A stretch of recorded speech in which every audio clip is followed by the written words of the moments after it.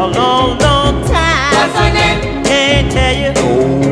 I wake up and say, just to have you, I'll be your slave. There's a certain girl I've been in love with a long, long